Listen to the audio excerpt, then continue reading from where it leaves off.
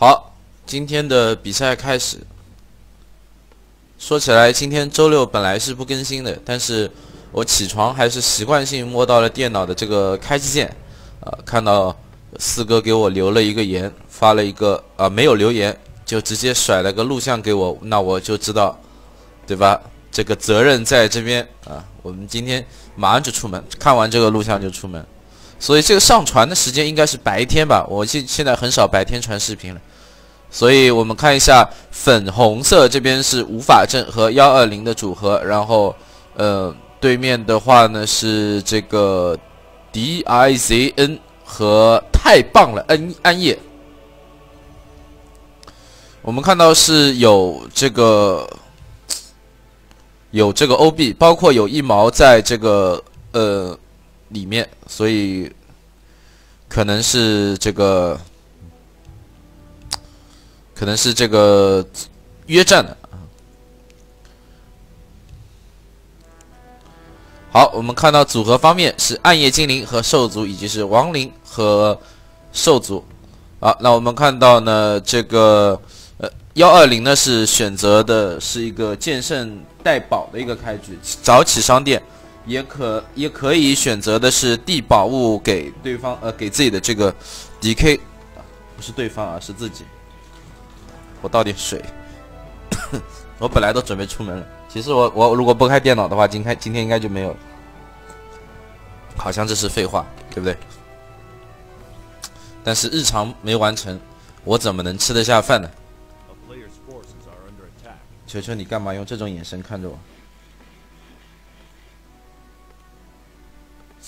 嗯，好。小精灵，我们看到，嗯，黄色这边的暗夜的话呢，是呃，也是给好了辅助侦查，就是应该来说是被动视野，就是说自己的这个防御视野是给给上了，不过这个视野太太狭窄了。蝶雀的话拿到了一个敏三，啊，我们看到幺幺零和无法阵的这个信息啊，是比较喜欢比较共享的，这个也是。呃，比较重要，就大家经常在平台当中闷着打，那闷着打你怎么能打得好呢？你不管对手呃队友你认不认识，把你知道的告诉对方，呃，对方也会告诉你，这样的话信息交流才是这个的打二二的最关键，因为两个人可能眼睛关注到的地方是不一样的。好，四哥这边的练级。虽然我觉得宝物没有悬念，但是我们还是要看一下。不过那个在另外一个白胖子身上，好，这边 D S N 的剑圣是过来，好的，抢了个小怪。四哥没有带粉，所以这个时候瘦子比较嚣张。因为如果这个时候 D S N 看到 D K 身上有粉的话，可能会呃考虑一下。但是另外一方面是幺二零是去对方家里面骚扰。好的，这个疾风波还是非常漂亮的。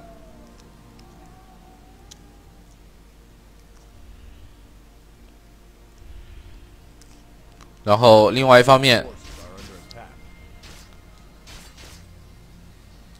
剑圣的话，目前还是有一定的这个，呃，就是身上魔法存量还是比较多的，所以无法针目前的这个练级啊，呃，比较痛苦。好的，这边一把粉，那这样的话，呃，这个太棒了，同学的这个 AC 应该是要被扑倒了。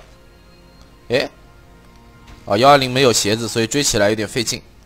不没关系，早期来说，AC 对于大 G 来大 G 和剑圣来说，这个简直就是一块肥肉。虽然人家小姑娘，你可能不能说是肥肉啊，但是总归是块肉，而且比较方便。另外一侧，我们关注一下无法阵。哎呀，对方的这个加速药膏，但是药膏被点掉了一下。好，DK 这边已经。完全不希望去拿旁边的三三二二了吗？啊，对啊，加三总比加二好吗？是吧？好，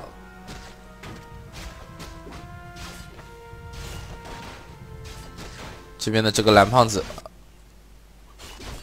看一下什么宝啊？一双鞋不错啊，一双鞋。然后幺二零的剑圣已经被打跑了，不过目前的话，他前期拖住了对方的恶魔猎手。如果说若论单单体骚扰能力的话，哎，DK 要小心，还好有鞋子，还好有鞋子。这个时候拼命的往队友家里跑，跑到家里面就有这个药膏药膏贴了。啊，对面的剑圣的话，因为没有魔法，所以四哥这边应该是相对比较安全的。药膏赶紧贴起来，清醒药膏，不要停，不要停下来，停下来你就死了。后面那个剑圣七十七魔了，不追吗？啊，疾风步肯定是要去砍一下的，哎，但是还是砍了对方的蜘蛛。好的，这样的话呢是补掉了法阵的这个蜘蛛。他可能也觉得就是一级疾风步，然后穿鞋的情况下追不上光环加鞋子的这个 DK，这个还是对的，肯定是追不上的。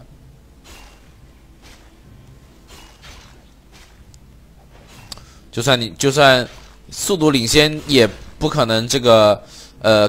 砍得出来，就像我们经常看到那种，就是这这个穿鞋的健身恶魔猎手去追女猎手是一个结果，就没有结果的。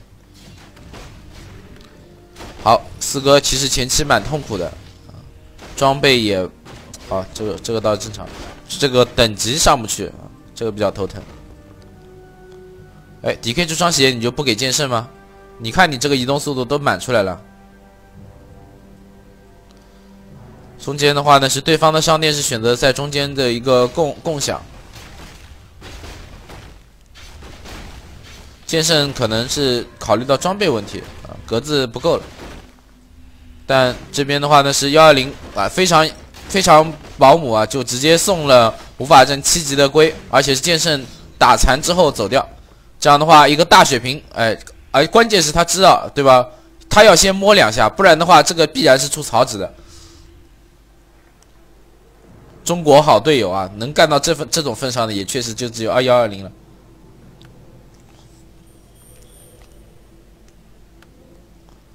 好，中间要打，不过我们看到那是太棒了，暗夜是选择了一个熊猫的耳发，这个是让我没有看懂啊。这种后期型英雄，你顶得住兽族和亡灵这么强悍的前中期爆发力吗？因为现在你说实话，无法阵和幺二零已经可以推了。对吧？你兵不多啊，我兵多啊。好，这里的话，你看，这这真的打起来了。第二级的剑圣，小心往后退。无法阵后面的蜘蛛都是带着加速的，所以现在这个时候，哎呦，这个恶魔猎手还好在商店旁边买了一个血瓶，但是被扬，可能还是要被秒。无法阵下一个啊，没有下一个 NC 的机会。不过我觉得这个剑圣可能是个 NC 的机会。打残，剑圣也买了个血瓶，也很怕，马上被扬。防止他喝水，有没有死亡缠绕？没有蓝，没有蓝。不过也没关系啊，可惜啊，如果他刚才刚才有这个死亡缠绕的话，这个剑圣是妥妥的必死的，已经被扬掉了，根本喝不了这个血瓶。好，但是你可以看到对面顶着一个商店的情况，就是非常能耗。我觉得来说，这个也是呃开战的时候无法阵和幺二零并没有注意到的这一点，他们其实有机会先强拆的商店。如果他们先把这个商店强拆掉的话，呃，反而在这里的话，应该可以把对方给打挂。不过这里的话，已经是打到了这个对方非常惨。好，熊猫身上还有个小蓝牌啊，怪不得这么能喷。四哥的三本马上就要好了，所以这个时候调整一下，看一下兽族这边的一个兵力数量，因为兽族在呃。这样的一个组合当中是一个比较尴尬的位置，就是说精灵的小鹿和白牛，呃啊，这个叫什么瘦子的白牛都是处在一个辅助的这个辅助加输出的一个位置的，所以就是说每个人都能辅助，但每个人也能输出。小鹿刚才是极限被保存啊，另外一方面，D R Z 的剑圣目前已经三级双头环双敏捷的一个配置，哦，这个很给力啊，这一刀一刀切上来，D K 是带带起了这个斧球，把 D R Z 的剑圣照出来。抢点，因为辅球点上，所以这个时候剑圣还是比较小心的。目前的话，在这个七四四的位置，应该来说没有人可以阻止无法阵练完了，呃，除了他的队友啊，马上把对方的把马上把无法阵的 DK 和 H A 掉，不然的话，应该是没有人可以阻止了。这个宝大血瓶，我，哎，对面没有来，没了，没有敢来抢，因为自己身上格子没有了。所以这么短的时间之内丢下一个东西，也就只有开无敌，然后再去拿这个大血来的比较现实。但是我们可以看，他到现在才回到七十五血，也就是说他刚才的魔法在现身之后，基本上来说这辈子就就就这样了。我们联手被点，我马上保存。他知道这个点过一轮骑射，在在 NC 连接上去，这恶魔猎手应该就差不多就要挂了。熊猫喷前排，后排的蜘蛛并没有受到酒雾的影响。其实关键前排掉血无所谓，但蜘蛛有没有中酒雾，这个才是关键。酒雾的 miss 对蜘蛛的影响太大。小小刀号呢是被抽干，无法阵马上是买出了娜迦。作为自己的三发，而幺二零的剑圣有大血喝不喝得出来？让群捕抬着大血，是还好呢，是把这个血瓶给喝了出来。而对面的恶魔猎手反而被秒红之后呢，是交出了回城。哦，这里的话呢，是应该来说那张关键的群捕啊，果然是真爱啊！四哥是掏出一张群捕救了剑圣，然后剑圣磕出了这个大血。好，这一下的话，哎，幺二零居然在前排起魔法。是不是这苦工没血了？顺手可以踢啊？是不是？你是这么想这个想法吗？还是造错了？B V 和 B M 好像，哎，也有可能啊。这几个剑确实蛮近的。好，回一下这个血蓝。哎，怎么神不知鬼不觉的又打出一张草纸呢？不过这个时候草纸可以奠定胜局啊，一波推过去就行了。啊，需需要草纸的时候就让四哥去打，这个计谋太高端了，我一下子没有反应过来，抱歉，四哥我误会你了。